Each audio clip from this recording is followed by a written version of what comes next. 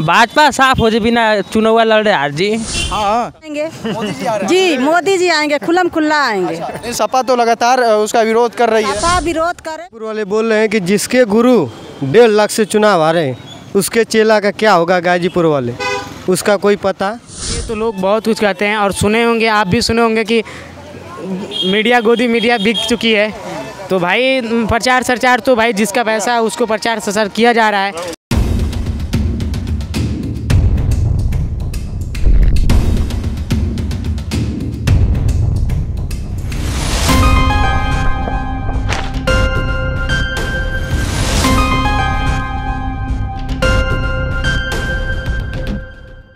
नमस्कार इस वक्त हमारी उपस्थिति है उत्तर प्रदेश के गाजीपुर के क्षेत्र में और अभी मैं गाजीपुर के पीजी कॉलेज के साइड यहाँ पर मौजूद हूँ। सामने की तरफ़ आप लोग को दिख रहा होगा। और आज जो है कि हम 2024 लोकसभा इलेक्शन को लेकर बातचीत करेंगे। हमारे बीच में तमाम युवा लोग मौजूद हैं। कुछ उनसे भी बातचीत करेंगे। अ, पीछे की साइड एक बार दिखा दी जाएगी हम कुछ लोगों से बातचीत करते हैं। देखिए थोड़ा सा सर बोलिए आप। दो हज़ार चौबीस गाजीपुर का चुनाव का क्या माहौल चल रहा है इस बार? भाजपा साफ़ हो जाए बिना चुनाव रहे हार जी। हाँ क्या बात करें भाजपा लगातार 400 के पार चार सौ पार तो पेट्रोल पंप जो न हुए रेटवा वो बढ़ी चार सौ पार। अच्छा ये बताइए आप भाजपा भाजपा पे आरोप लगा रहे हैं भाजपा जो कि तमाम युवाओं ने रोज़गार दे रही है हर साल कह रही है कि दो करोड़ नौकरियाँ दे रहे हैं। दो करोड़ कहाँ गए अपने घर में लेके गए नहीं दे रहे हैं। कहाँ दिए किसको दिए बताइए आप। क्या सपा सरकार आ रही है क्या इस बार गाजी? एकदम बेखौफ। लेकिन अगर मैं बात करूँ 2019 गठबंधन की तो अ, सपा और बसपा का गठबंधन था तो वोट ज़्यादा हो सकता है मिल गया लेकिन इस बार तो सपा और कांग्रेस का गठबंधन है। अरे एकदम साफ़ क्लियर सपा जीतेगी। हाँ एकदम। पूरा उम्मीद है। एकदम उम्मीद का जीत चुकी है। अच्छा कितना ऑटो से जीत दो लाख पार अच्छा महिलाओं के लिए अगर बात करें तो ज़्यादातर वो लखपति दीदी का योजना निकाल रहे हैं उसमें महिलाओं को लखपति बनाया जा रहा है। हाँ बनाया जाएगा तो दे रही थी भाजपा पंद्रह पंद्रह लाख कहाँ गया? हाँ। क्या माहौल चल रहा है गाजीपुर का इस बार अगर देखा जाए तो? माहौल काफ़ी तगड़ा है। और देखा जाए तो हमारे यहाँ गाजीपुर में तो चुनाव चर्चा बहुत काफ़ी है। भाजपा सरकार लगातार 400 के पार नारा लगा रही है। अ, तमाम योजनाएँ निकाल रही हैं सरकार के लिए। देखिए कहने के लिए तो लोग बहुत कुछ कहते हैं और सुने होंगे आप भी सुने होंगे कि मीडिया गोदी मीडिया बिक चुकी है। तो भाई प्रचार सरचार तो भाई जिसका पैसा है उसको प्रचार सरचार किया जा रहा है। बट हमको ऐसा लग रहा है कि ऐसा कुछ भी नहीं है।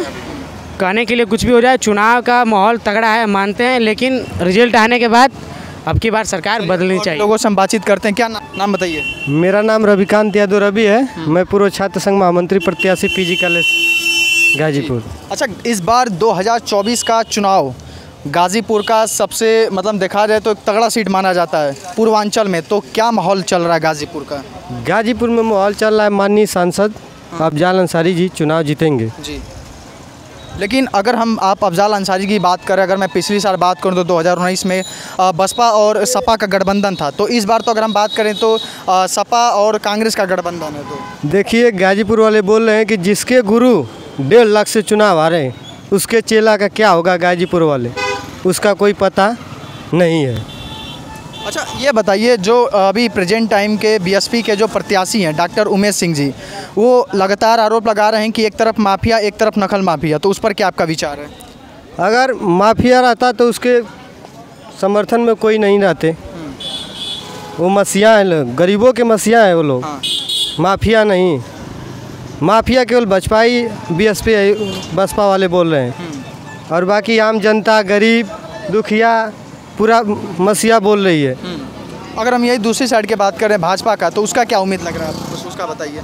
देखिए उनका कोई गिनती नहीं रहेगी। आप तो इसे पूरा सपा का झंडा पूरा एकदम तौलिया भी पहने हुए हैं।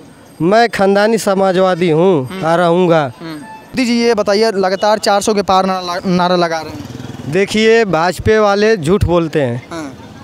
वो सौ में अस्सी परसेंट झूठे बोलते हैं। सबके खाते में दस दस लाख रुपया भेजने वाले थे आज वो कहाँ दो दस दस लाख रुपया गई। पंद्रह पंद्रह लाख। छोड़िए। और यही अगर हम बात करें तो कांग्रेस का यहाँ पर जैसा गढ़ बहुत कम माना जाता है। तो क्या चांस लग रहा है इस बार सपा और कांग्रेस का गठबंधन तो उससे कुछ प्रभाव पड़ेगा कि नहीं लोकसभा चुनाव पर? देखिए कांग्रेस का भी बहुत यहाँ पर है। आज जो भाजपा वाले गलती से चाहे दादली से जो भी कर रहे हैं ये इनका राज है। जब कांग्रेस थी तो ऐसा कोई दादली वाला काम नहीं था इसलिए ईमानदारी पर चुनाव हमेशा जीती थी और रहती थी। चलिए। बाकी दोस्तों अभी हम गाज़ीपुर से लोकसभा को लेकर बातचीत कर रहे थे। अ, हमारे साथ एक भैया जी मौजूद हैं कोई समस्या है? जी बताइए। नाम भाजपा है तो भाजपा ही रहेंगे।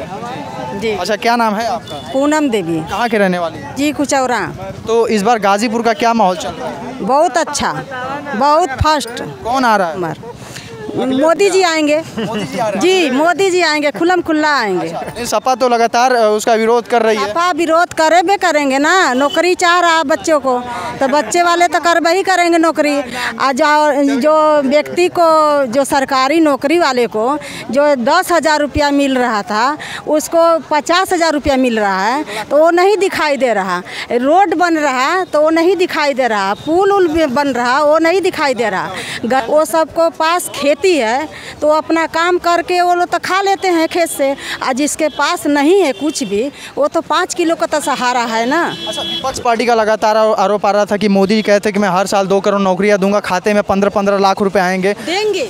वो देंगे। आने वाले समय में देंगे। हाँ पहले जनता को सुधार रहे हैं। पहले जनता को सुधार रहे हैं। अच्छा गाजीपुर से इस बार पारसनाथ राय जी को यहाँ का प्रत्याशी घोषित किया गया है। कई लोग कह रहे हैं कि उनको तो मैं जानता ही नहीं हूँ। कुछ आरोप आ रहे हैं लगातार? नहीं जानने वाले वो जो उनके खिलाफ हैं वही ना करेंगे।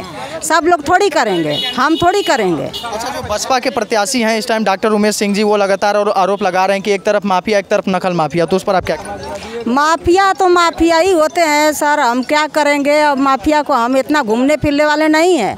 हम तो सिर्फ़ बंद घर की औरत हैं घर ही में के जानेंगे। मगर जो समाज में देख रहे हैं वो हकीकत है। और इनको जो नकल माफिया नकल माफिया का जो आरोप लग रहा है भाजपा पे? भाजपा पर हम क्या बोलेंगे अब इसके आगे नहीं बोल पाएँगे सर। हाँ। अ, दोस्तों बाकी एक बार मैं आप लोगों को पीछे की तरफ़ दिखा दूँ अभी हम गाजीपुर के पीजी कॉलेज के साइड मौजूद थे यहाँ पे हम कुछ युवाओं से बात किए। युवा जो है कि बोल नहीं रहे हैं बड़ी दूर से पहले ही भाग जा रहे हैं लेकिन चलिए कोई बात नहीं कुछ लोग बोले हम मिलते हैं किसी और वीडियो के साथ तब तक के लिए जय हिंद जय भारत।